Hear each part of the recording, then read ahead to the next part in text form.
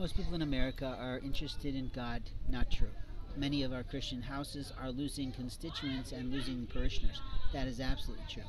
The reason that they're losing them is that pastors are not producing good work is not true, but the reason that they're losing people is they're just not marketing correctly, and that may be true.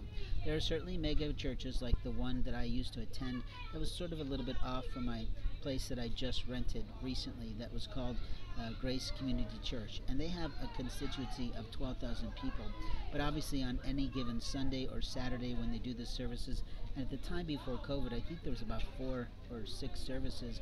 You know, we're talking probably two to three thousand people possibly in the audience, but I never counted the chair count, and I don't know what fire code is for their different sanctuaries. But openly, they did some renovations to the building because people used to joke that it looked like a hotel, and I didn't really agree with that. I think what God cares about is how people assemble and where their fellowship are. But the thing that a lot of times Christian uh, worship houses talk about is the Trinity. The Trinity is highly important to a man like me who's pagan. And being pagan means that I kind of have more of a historic work with God as opposed to more contemporary labeled work with God.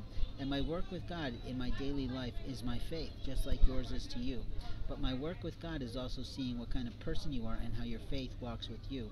When I encourage people to learn about their angels, I encourage them to use educational and encyclopedia information that comes from Catholics, that comes from the Vatican, and that can, comes from people who really talk about them.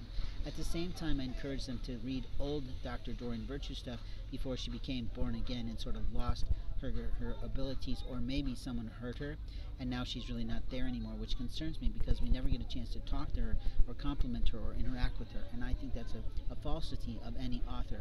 She also has some beautiful religious, angels oriented cards from her past work and her past authorship. And I really wish people would play into them because you can learn so much about yourself and feel good about the Lord and work in and out of the Holy Ghost. But when it comes to the practice of the pendulum, my Angels Around Us program is mine.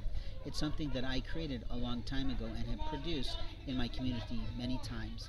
What I do is teach people how to use the right tool for them because there's many types of materials, there's many types of, of images, there's many types of things that can help you to tap into your angels so that you know that not only are you working with the Holy Ghost, but you're not working with any satanic forces and you're not working with your arrogance of what you want in your life. You see, truly having submission to God means you're willing to say, as much as I want this thing over here, as much as I want that food over there, as much as I want that car type, I'm going to check with God to see what is and isn't right for me.